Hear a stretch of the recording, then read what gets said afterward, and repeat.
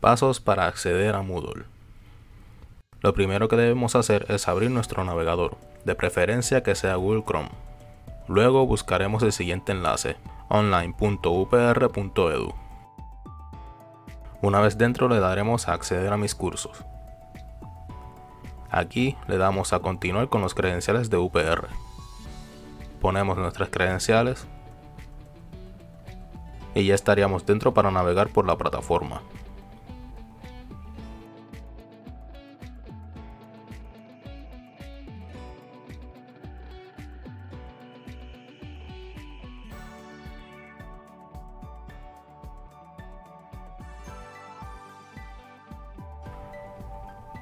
También podremos acceder desde la página de UPRH, uprh.edu.